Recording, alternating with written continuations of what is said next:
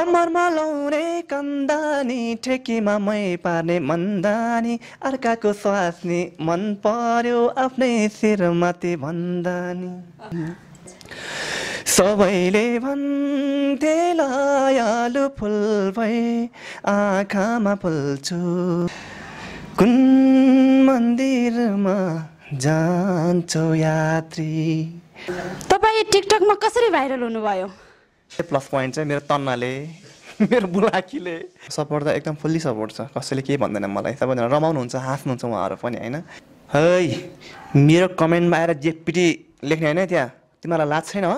तिमीलाई भेटे भए गाला फुटे गरी दिन मन थियो तर म दिँदैन त्यस्तो खालको मान्छे होइन। सके पो दिनु है हजुर। सो म तामसिलिङ टिभी सम्पूर्णलाई एक मुस्तमै मलाई एउटा गिफ्ट प्रदान गरिदिनु भयो। यहाँलाई धेरै धेरै धन्यवाद दिन चाहन्छु। यो मेरो अमूल्य गिफ्ट है फर्स्ट गिफ्ट भन्नु। पर्यो है। थ्याङ्क यू सो मच पाइरहनुहुन्छ हजुर जति पठाउँदाखेरि पनि।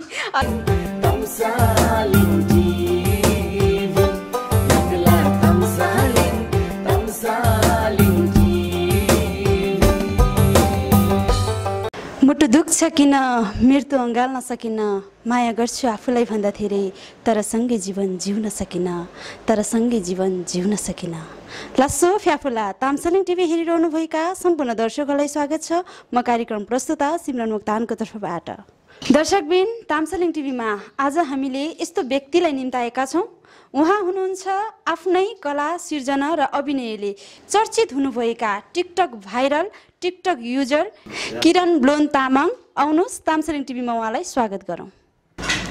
लासो फ्याफुला तामसरिङ टिभीमा यहाँलाई स्वागत छ। ल सो फ्याफुला साथसाथै धन्यवाद पनि।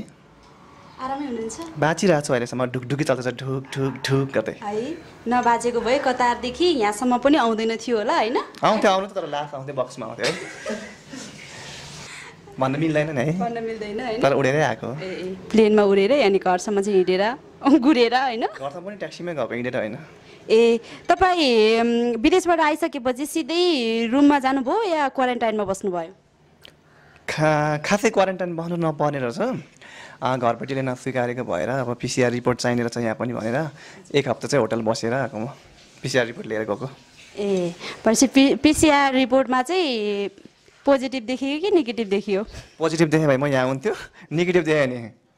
तपाईँ टिकटकमा कसरी भाइरल हुनुभयो?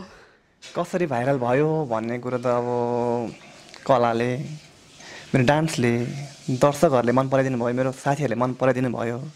साथसाथै प्लस पोइन्ट चाहिँ मेरो तन्नाले मेरो बुलाकीले यस्तै यस्तै कारणले गर्दाखेरि भाइरल भनौँ कि के भनौँ अब तपाईँहरूको नजरमा भर पर्छ त्यो चाहिँ। है तपाईँले टिकटक चलाउनु भएको कति भयो? कति वर्ष भयो?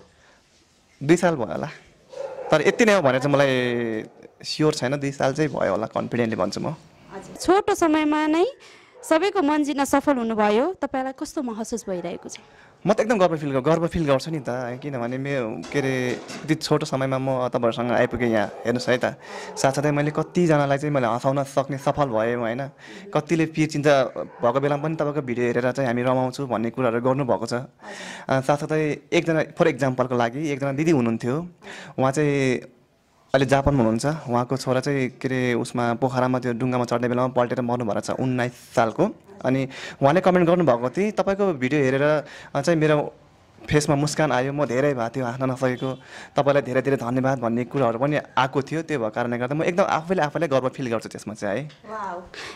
परिवारबाट कतिको सपोर्ट छ तपाईँलाई टिकटक चलाउनमा? सपोर्ट त एकदम फुल्ली सपोर्ट छ। कसैले केही भन्दैन मलाई। सबैजना रमाउनुहुन्छ हाँस्नुहुन्छ उहाँहरू पनि होइन?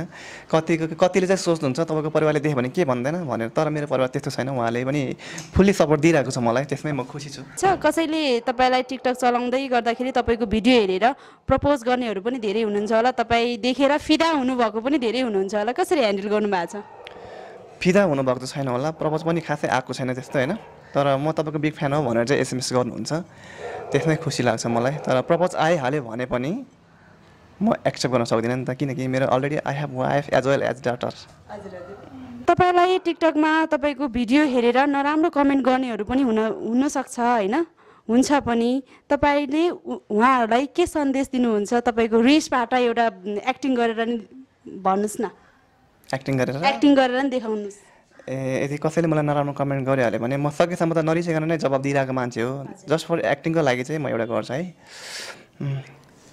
है मेरो कमेन्टमा आएर जेपिटी लेख्ने होइन त्यहाँ। तिमीलाई लाज छैन हो? तिमीलाई भेटे भए गाला फुटे गरी दिन मन थियो तर म दिँदैन त्यस्तो खालको मान्छे होइन। सके पो दिँदैन तपाईँले टिकटकमा धेरै नै सेलोहरू गाउनु भएको छ होइन? लोकदोहोरी पनि छ। तपाईँले टिकटकमै गाउनु भएको सेलो अनि एउटा सेलो एउटा लोकदोहोरी गीत गाइदिनुहोस् न। ओके। अहिले मेरो धेरै जसो त्यो चर्चितमै आएको थियो टिकटकमै फेरि अन्त होइन। तामाङ सेलो पनि छ त्यो एउटा हाम्रो त बारीको छेउमा ओखरको बोट सुक्यो सरलङ्गाई मैच्याङले कम्मर मर्काउँदा सुरुवाल फाट्यो फरलङ्गाई लस्सो। यस्तो यस्तो शब्दहरू आफै क्रिएट गर्नुहुन्छ तपाईँ? आफै त हो नि अब कहाँ किन जान्छु म? यस्तो यस्तो शब्दहरू चाहिँ कहाँबाट फुट्छ क्या तपाईँलाई? फुटेको? फुट्छ फुट्छ। भन्नाले कहाँबाट? आउँछ भन्नुभएको? उड्दै उड्दै आएर चाहिँ मलाई च्याप्प समातेर मेरो दिमागमा ट्याक्क हालेर चाहिँ अनि मैले गाइदिएको। भन्न नमिल्ने होइन आफै सोचेर गाएको। लोकदोहोरी एउटा लोकदोरी पनि निकै ट्रेन्डिङमा आएको। टिकटकमै फेरि होइन। दुःख पायो बेलैमा जानेनौ तिन महिने सुइलौ भन्दा मानेनौ माइतै बस खरानी दलेर बिना बाउको सन्तानलाई पालेर। Oh. यो त एउटा सन्देश पनि छ नि होइन र? हजुर हजुर। अ, तपाईँले पहिल्यैदेखि गीत गाउनुहुन्थ्यो कि अहिले बिचमा आएर तपाईँको रहर पुरा गर्दै हुनुहुन्छ कि के को? रहर त पहिले बच्चादेखि थिएन गीत गाउने बाथरुम सिङ्गर बाटो हिँड्दा नै गाउने गोरु चढाउँदा बाख्रा चढाउँदा नै गाउ- गाउने। तर त्यो गाई भन्दा फेरि सिङ्गर भन्नु मिल्दैन है। जस्तै बाथरुम सिङ्गर हो होइन त्यस्तो प्रोफेसनल सिङ्गर होइन म जस्ट एउटा रमाइलोको लागि आफ्नो दुःख भुलाउनको लागि टाइम पासको लागि मात्रै हो। हजुर।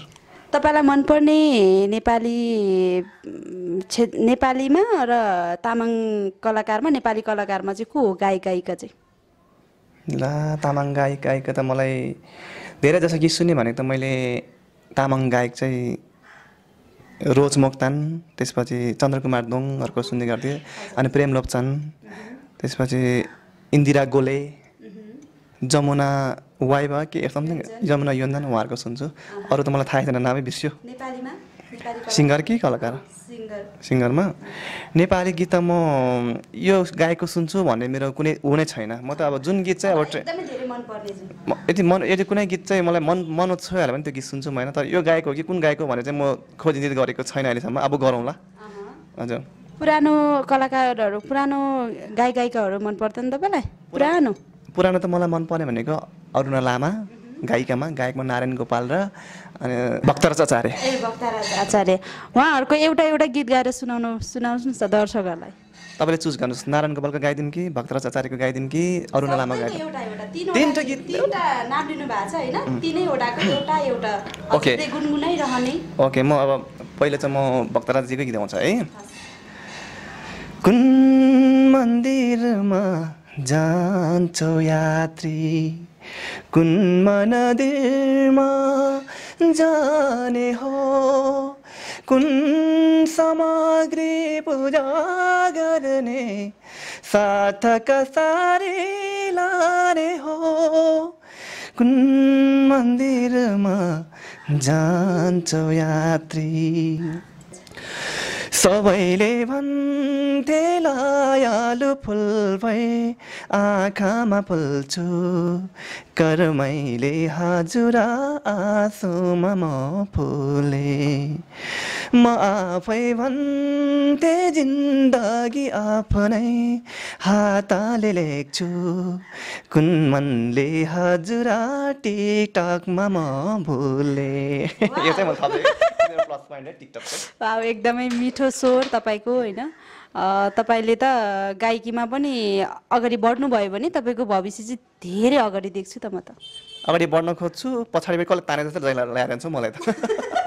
बढ्नै सक्दैन खोइ के के त्यस्तो। मौका पायो भने यदि तपाईँलाई कसैले अवसर दिनुभयो भने तपाईँ गीत गाउनलाई रेडी हुनुहुन्छ? एकदम यदि मलाई कसैले गीत गाउनको लागि अपर्च्युनिटी दियो भने I am ready to sing. तपाईँलाई सुटिङको लागि पनि म्युजिक भिडियोको लागि पनि अफर आइसकेको भन्ने कुरा चाहिँ सुन्नमा आएको छ। के यो सत्य हो? सत्य सत्य नै भन्नु पऱ्यो होइन। अहिलेसम्म त अब टेबल टक नै चाहिँ भएको छैन हाम्रो कल फोन कलमै भएको हो होइन। अब हुने कुरो भइरहेको छ। अब भइसकेपछि सक्सेसफुल भइसकेपछि म तपाईँहरूलाई अवश्य पनि इन्फर्म गर्नेछु है त। हस्। अब तपाईँको योजनाहरू चाहिँ के के छ? अबका योजनाहरू। योजना त मैले केही पनि सोचेकै छैन। सोच नै सकेको छैन मैले। हो? ए जहाँ हिँड्ने त्यहाँ ठोक्छ। जहाँ जहाँ के भन्छ नि एउटा एउटा उखान छ नि जहाँ पुग्छ त्यहाँ आगो पुग्छ भने जस्तै के। त्यस्तो है।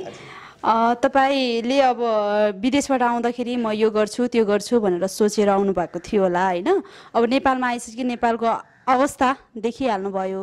तपाईँले कतिको सक्सेस पाउनुहुन्छ जस्तो लाग्छ? सक्सेस त आफूले अब मिहिनेत गऱ्यो भने अवश्य पनि पाउँछ होला होइन? भगवान्ले एउटा ढोका बन्द गरे पनि अर्को ढोका खोल्छ अरे। भन्ने उखानै छ नि त।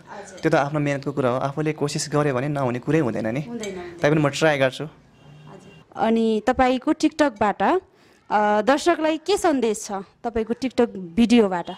मेरो टिकटक भिडियोबाट दर्शकहरूलाई के सन्देश दिन चाहन्छु भन्दाखेरि जति पनि दर्शकहरू हुनुहुन्छ नि टिकटक बनाउने टिकटक युजरहरू हुनुहुन्छ सबैजनाले सकेसम्म एकदम समाजलाई भन्छ नि अब यो सूचना दिने कामहरू गर्नु होला यस्तो यस्तोहरू गर्नु होला कमेडीहरू गर्नु होला अरूलाई जेपिडी नबोल्नु होला अरूलाई अब तत्त्व र मोमो गरेर होइन अरूको भिडियोहरू स्क्रिनसट गरेर जेपिडी बोल्ने गर्ने कामहरू नगरिदिनु होला सकेसम्म एक अर्कामा मिलेर रमाउनु होला अगाडि बढ्दै जानु होला भन्ने मेरो धारणा है त। तपाईँले एउटा एक्टिङ गरेर देखाउनुहोस् न तपाईँको केही गीतमा। मेरो गीतमा भन्नाले? तपाईँको सेलो गीतमा। गाएर कि? गाएर। स्वर मिठो छ गाइदिन गाउनको लागि लगाउँ लगाउँ लाग्छ कि? ओके म एउटा सेलो गाउँछु होइन? त्यो कन्दनीवाला। ओके म त्यो कन्दनीवाला गाउँछु है त?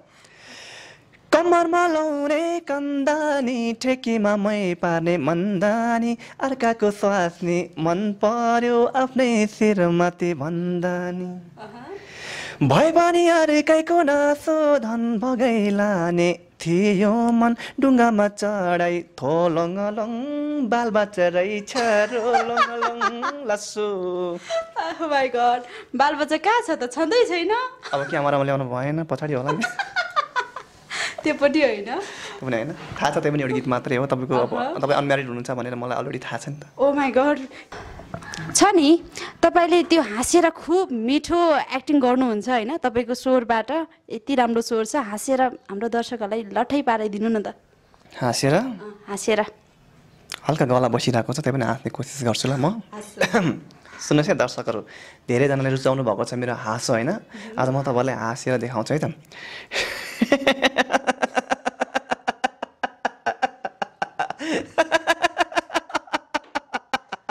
किन हाँसेको? नभन्नु ल यो एक्टिङ मात्रै हो। हाँस उठेर गएर हाँस होइन यो।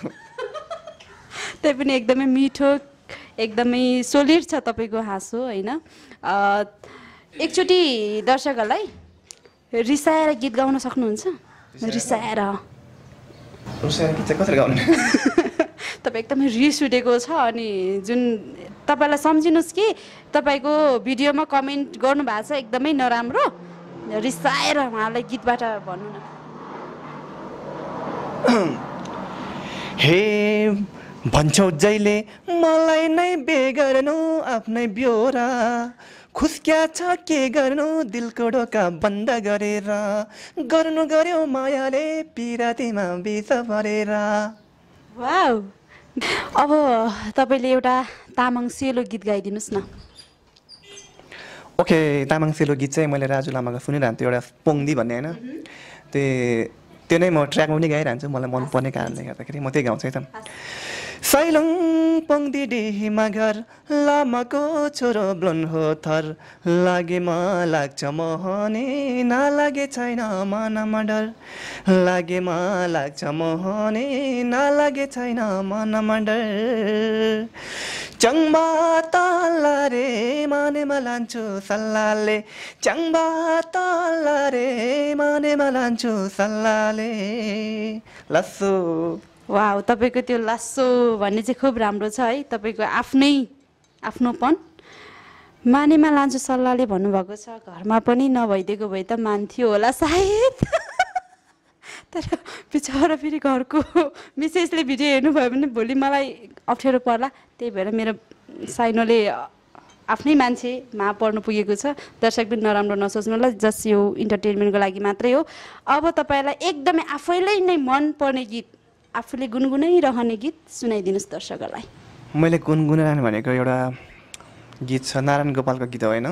धेरै जस्तो गुनगुनाइरहन्छु यति धेरै माया दे मनभरि दुःख नदेऊ बाटो आरा परा फुल्ने पलास टिपे शिरमा नलाऊ यति धेरै माया दे। वाउ एकदमै मिठो गीत। धेरै कुराकानी गर्ने तपाईँसँग धेरै मन थियो होइन? फेरि फेरि पनि आउनुपर्छ फेरि फेरिको एपिसोडमा पनि राख्नुपर्छ। त्यसैले आज हामी अन्तिम अन्तिमतिर छौँ। यदि मैले तपाईँलाई सोध्न छुटेको र तपाईँले भन्न छुटेको केही छ भने प्लिज अन्तिममा राखिदिनुहोस् न।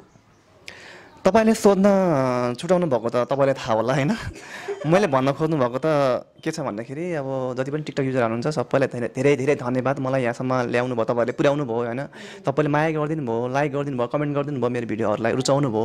त्यो नै भन्न चाहन्छु म उहाँलाई धेरै धेरै धन्यवाद। कति रिसाउनु भएको छ होला? फलो ब्याक दिन भनेर नरिसाइदिनु होला। फलो ब्याक अवश्य दिन्छु म तपाईँलाई। किनकि दस हजार ट्रस्ट भएपछि फलो ब्याक दिन मिल्दैन कि? मसँग अलरेडी आठ हजार क्रस भइसक्यो। त्यो भएको कारणले गर्दाखेरि म अवश्य पनि दिन्छु है नरिसाइदिनु होला है guys thank you so much love you all Tamsaling टिभीको निमन्त्रणालाई स्वीकार गरेर तपाईँ यहाँसम्म आइदिनु भयो धेरै धेरै धन्यवाद। हाम्रो तामसालिङ टिभीबाट चाहिँ तपाईँलाई यो सानो उपहार रहेको छ। लिइदिनु होला है।